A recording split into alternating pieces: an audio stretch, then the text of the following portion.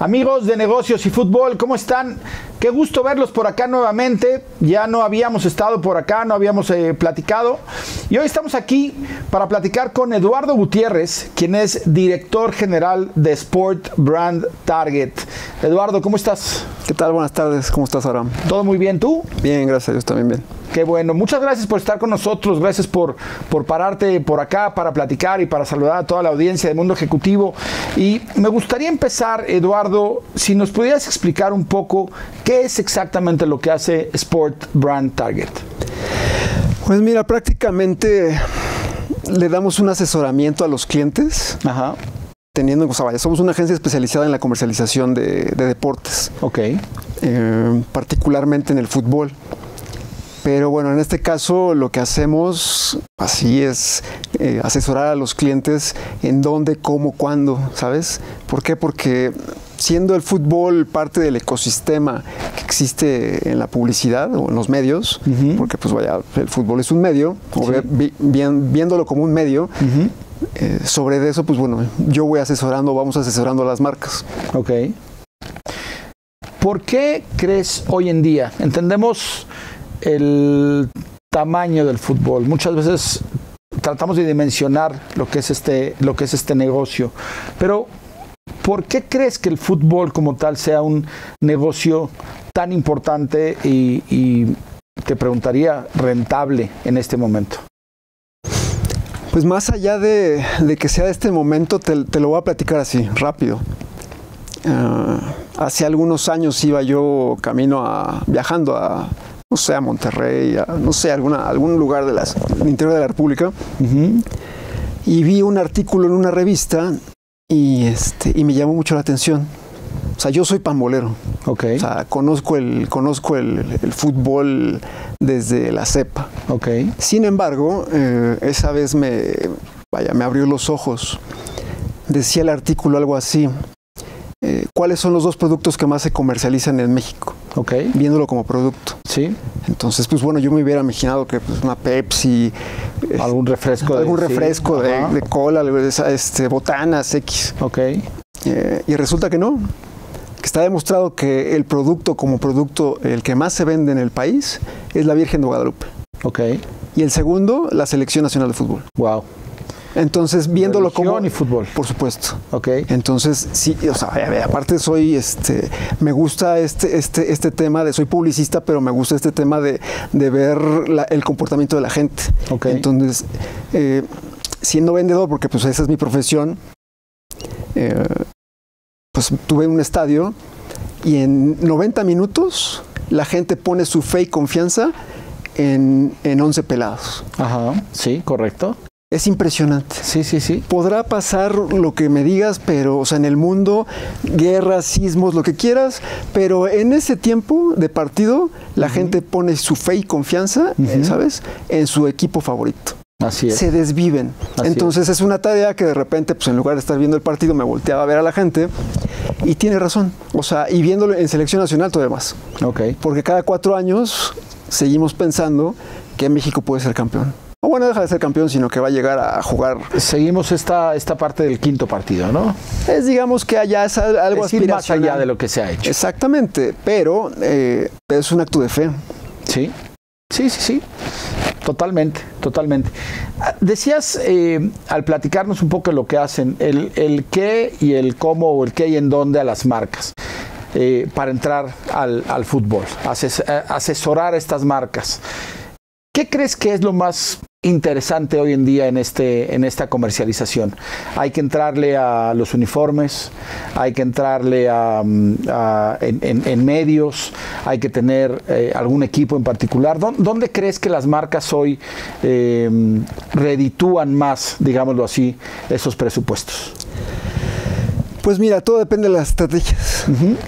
Porque si, si, si, si lo ves como, como fútbol, como plataforma, como medio, evidentemente, pues vaya, hay muchos, eh, muchos productos que ofrecer. Está el spoteo en televisión, está Sí. radio, están impresos, está eh, publicidad virtual, está las vallas en los estadios, que es la publicidad estática, Sí. están los mismos uniformes. Entonces, ¿de qué manera poder, poder eh, hacer una estrategia depende de las necesidades de la marca, como en todo. O sea, ¿por qué? Porque si tú me dices, ¿sabes qué? Que yo quiero invertirle todas mis canicas eh, eh, en algo que me reditúe, a lo mejor te puedes ir y pensar en el América. Ok. ¿Por qué? Porque el América tiene, eh, también es algo bien interesante. Los dos equipos, digamos que los más populares en México, sin menospreciar a nadie, es el América y Guadalajara, Sí. por tradición. Pero es curioso que el América sea el equipo que más eh, lo ven en televisión. ¿Por qué? Porque tiene un fenómeno. Eh, y no es que yo le vaya al América, Pero le vas. pero le voy. Buenísimo. Eh, sin embargo, es, bien, es bien chistoso porque mucha gente lo quiere ver ganar o mucha gente lo quiere ver perder, Correcto. pero lo ven. ¿Y eso quién te lo manda? Pues, ¿a quién, quién lo, ¿Por dónde lo vemos? ¿O quién lo dice? Pues los ratings, ¿no? Las Sí. audiencias. Y Chivas es el equipo que más afición tiene en el país. Pero que no es tan visto. ¿Por qué no tiene tanto detractor? No tiene tanto detractor, exactamente. Entonces hay, existe ese fenómeno, más allá de, lo- de otros equipos de importancia, ¿no? Ok. o equipos que, que surgen como Atlas, que, que fue bicampeón, etcétera. Pero al margen de eso, sí depende mucho de las estrategias. ¿Por qué? Porque, pues bueno, si a lo mejor tú tienes esta bolsa y la quieres ocupar en un equipo que jale tanto como América, a lo mejor no te conviene. ¿Por qué? Porque vas a diluir todo ahí y, y, pues no se va a ver. Ok. ¿sabes? Entonces a lo mejor lo que conviene, depende de la estrategia, pues es, es a lo mejor tener un poco más de frecuencia en otros equipos, Ok. ¿sabes? O adueñarse de, de- de propiedades como lo ha hecho Caliente en los últimos años, Sí. ¿sabes? O Steren que, que lleva Años. años eh, acompañando al fútbol, ¿sabes? O, o te puedo poner un caso que, que me llamó mucho la atención en su momento cuando, cuando trabajé con la gente de Comex. La gente de Comex hace muchos años, no me acuerdo en qué año, eh, pues ellos se, se adueñaron del fútbol. Era el color del fútbol. El color del fútbol. Ese era el eslogan. era pinta tu raya. Después vino el food line, ¿no? La diversificación con los árbitros, pero, pero era el color del fútbol. Sí. Y fue muy interesante porque en su momento sí fueron patrocinadores de, no sé si de la, de la bueno, de la, de la liga, no, no existía la liga como tal, de la federación, Eh, pero después a mí lo que me decían es que hacían más invirtiendo en otros medios que- que- que teniendo tanta o tanto presupuesto en el patrocinio. Ok. ¿Sí me entiendes? Sí, sí, sí. Entonces diversificaron sus estrategias eh, y se posicionaron de una, de una, vaya, de un nombre, el color del fútbol. Sí, sí, sí, sí, que eso lo recordamos y, fue muy, muy interesante porque cualquier persona, a lo mejor de que de 30 años por lo menos, ¿no? A lo mejor un poquito más grandes, 30, 35 años, se van a acordar perfectamente de este tema del color del fútbol. Oye, eh, Eduardo, dime algo. Eh, con todo lo que tú conoces, ¿no? Y dijéramos que, que mañana ya no estás metido en el tema del fútbol, pero tienes, te quedas con toda esta información y mañana tienes, tienes una marca, tienes un negocio, generas un negocio eh, totalmente fuera de esto. ¿Invertirías? ¿Crees que es, que es importante? ¿Asociarías o buscarías asociar tu marca, tu nueva marca al fútbol? Sí, ¿De alguna manera? Sí, totalmente. ¿Sí? Sí, totalmente. Ok. O sea, ¿crees que es...? eh, y, y- y me decías hace rato, y, y creo que tienes mucha razón, hablabas también del mercado y hablabas de, de- de la marca, o sea, la marca y el mercado, ¿no? Este, ¿Cómo lo ven equipos como el Real Madrid, cómo lo ven equipos como el Barcelona y cómo- qué sucede en mercados como el mexicano, a diferencia de algunos, de algunos otros? Pero tú dirías, esta es una inversión que yo debería de hacer en el fútbol. Sí, por supuesto, haciendo como medio, o sea, haciendo un, vaya, un- una marca, por supuesto, totalmente. O sea, me va a ayudar, es un puente, o sea, es una vitrina, es un escaparate. Pero, lo, el más, más que nada el comentario te lo hacía por, es más, ya está en redes eh, la entrevista de- del señor Salinas Pliego, eh, cuando le pregunta a este chavo Monterrey, no me acuerdo cómo se llama, eh, acerca de que si es realmente negocio Ok. para ellos. Ok. ¿no? Y, y- y él lo que dice en esa entrevista es que, pues, pues, que realmente no es, no es, vaya, no es tan negocio, ¿sabes? O sea, no es, no es como, como equipos como el Barcelona, como, como, el, como el Madrid, ¿sabes? Que venden la cantidad de playeras a lo largo del planeta. Claro. Eh, son distintos, o sea, me queda claro. Sin embargo, eh, para las marcas en nuestro mercado nacional, evidentemente es un medio por excelencia que yo, vaya, es más, lo he hecho a escala menor, pero en canchas de fútbol, ¿no? Este, que, ha, in- que ha incursionado en, en- en esos negocios, eh, pues, pero vaya, pues, da, da para eso. Da. Porque aparte te voy a decir algo bien interesante. El fútbol, y esto es por experiencia y porque, por vivencia y por, por observación, el fútbol lo puedes jugar con un frutzi. Sí, con lo que sea. Bueno, yo lo jugaba con un frutzi. O porque nos quitaban con un frutzi, agarrábamos las hojas de papel, las hacíamos bolita, le exacto. poníamos este cinta canela o la cinta que es, y teníamos y teníamos una pelota. Exacto. Entonces el fútbol lo puedes jugar en todas partes. Es el deporte más popular en el, en el mundo. Sí, correcto, correcto. Oye, platicábamos antes de, de entrar a, a- a la entrevista y decíamos, este fenómeno, quisiera, quisiera tocarlo contigo, este fenómeno, este fenómeno del, del álbum, del álbum del mundial, de lo que sucede cada, cada cuatro años. ¿Cómo lo ves? ¿Cómo lo has, cómo lo has vivido? ¿Cómo, ¿Cómo entender en que cada cuatro años tenemos a gente gastando, y aquí son algunos datos que, nos pasaron nuestro equipo de Real Manager, que como saben es el fantasy oficial de la Liga MX. Hoy tenemos un álbum de pasta dura que cuesta 250 pesos. Tenemos uno tradicional, que yo te decía en mis épocas, y no voy a decir mi edad, este, no había, no encontraba yo uno de pasta dura, pero el tradicional, un costo hoy en día de 89 pesos. 18 pesos un sobre. Y lo que entendemos es que casi, casi te puede estar costando 16 mil pesos llenar un álbum.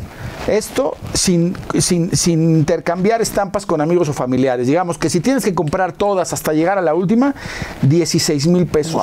¿Cómo, ¿Cómo lo dimensionamos hoy en una economía como la nuestra, en una economía latinoamericana? 16 mil pesos. Estás hablando de tres meses de salario mínimo. Ay, mira, son, son temas que de repente son un poco controversiales, porque es como si yo te dijera el acceso para ir a ver a la selección nacional. O sea, porque realmente eh, el equipo que es de, de- vaya, la selección que es de todos, pues, pues para No irlo a ver no es de todos. Claro, por O sea, supuesto. o sea, para irlo a ver en México. para no irlo a es de ver en. México no es de todos. Correcto. ¿no? Este, eso es por un lado. Entonces, eh, a ver, hablando del Panini, eh, pues yo te lo voy a poner así. O sea, yo tengo tres hijos, a los, los tres son pamboleros, pamboleros, 17, 15 y 9 años. Ajá. Y, y de plano, pues es un álbum para los tres. ¿No? Porque Uno para los tres, uno para si los no tres. son, son, este, son 48, son 50 mil pesos. No, está, o sea, es- es- está de, está de sí, te puedo decir que, que, o sea, que la gente va a hacer el esfuerzo, la gente, o sea, velo desde esta parte en que el fútbol eh, transforma, es un, es un fenómeno social. Totalmente. Y cada cuatro años la fiebre del mundial, evidentemente, pues se va sube. hasta las nubes. Correcto, correcto. Muy, muy interesante. La verdad es que también los, los invito a, todos, a, todo- a toda la gente que nos ve, porque escribí algo sobre esto, sobre el tema de- del álbum de Panini y cómo ha ido evolucionando, que lo pueden ver en el empresarios.club. Pueden entrar ahí a revisar toda esta parte, que lo vamos a estar eh, subiendo ya próximamente. Y bueno, Eduardo, como te decía, eh, Real Manager, que es el fantasy oficial de la Liga MX, y algunos datos que salieron esta semana, esta jornada, a ver qué, qué opinas. Mejores jugadores de la jornada 13, Diego Valdés, de, de tu América, 146 puntos, un gol, eh, dio asistencia y cuatro pases claves en el triunfo, en el triunfo de la América. ¿Cómo estás viendo a Diego Valdés? Bien, la verdad es que equilibrado, le está dando fuerza al equipo. Y esta temporada más, más, más acoplado, ¿no? A diferencia de la pasada. Sí, por supuesto, más acoplado. Buenísimo. También tuvimos para la jornada 14 a Eric Sánchez del Pachuca, 228 puntos, dos goles, dos asistencias, eh, tres pases clave en, en la goleada del Pachuca a Cholos. Tremendo, ¿no? Este partido. Uno puede hablar de, de- de que la liga es pareja, pero a veces no tanto, porque también te lo decía, o sea, perdió con Puebla. Sí. Puebla trae buen equipo, pero sí, Pachuca, pues Pachuca también llegó a la final. hay un sube y baja, hay un sube y baja tremendo. Eh, semana de clásico. ¿Cómo lo ves? Yo creo que va a ganar el América. Ajá. Digo, pesa la. Soy americanista, pero, pero yo estoy vamos a salirnos, yo soy americanista también, pero eh, vamos a salirnos. Nueve triunfos del América y cinco triunfos del Guadalajara de manera seguida. Entonces, volteo a ver allá porque está con nosotros Nayeli, que la conocemos bien, que es quien nos da toda la información, y es Chiva. Pero bueno, yo también creo que el América eh, debe de ganar. ¿Cómo, ¿Cómo ves el partido? Yo creo que el América trae más plantel. ¿Sí? O sea, creo que está más eh, enrachado. eh, y en, jugador por jugador, eh, la verdad es que va a pesar más. O sea, hoy, hoy el América está más engranado. Y, que aparte, ¿sabes qué me ha gustado? Que ha sabido remontar, ¿no? De repente habían partidos en temporadas anteriores donde veíamos buen, buen equipo, pero les pasaba lo que les pasó este fin de semana y se caía el equipo, perdían el primer tiempo y se caía. Y ahora han pasado un par de veces esto y han, y han, podido, han podido levantar. Y la banca, la banca también ha respondido. Hay, hay, hay mucho revulsivo por ahí. ¿no? Y el otro partido Cruz Azul viene mal. O sea, Cruz Azul viene mal, Pumas no es que venga tan bien, pero creo que Pumas se lo va a llevar. Para estos dos, para estos dos clásicos, si les podemos llamar, Pumas y América. Sí. Buenísimo. Eduardo, pues muchísimas gracias. Muchas, muchas gracias por haber venido a platicar con nosotros. Muchas gracias por venirnos a, mostrar y a platicar un poquito de todos estos temas que a la audiencia de Mundo les gusta. Nos gusta el fútbol, pero también nos gusta saber qué hay, qué hay atrás del fútbol en esta parte de negocios. Así que muchísimas gracias por haber estado con nosotros. Gracias a ti, Abraham, por la invitación. Y amigos, pues nos estamos viendo. Ya se nos va acercando la, la liguilla. Estamos ya cerrando cerrando por ahí la temporada. Vamos a ver, vamos a ver cómo termina y, bueno, seguiremos, seguiremos aquí en contacto con ustedes en negocios y fútbol. Así que, Abraham Safdie, el empresario, nos estamos viendo por acá. Hasta luego.